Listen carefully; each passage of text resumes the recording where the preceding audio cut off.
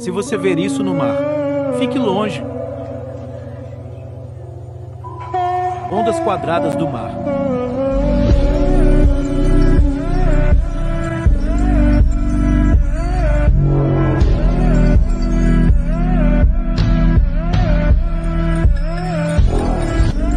Se a água do mar recuar sem motivo,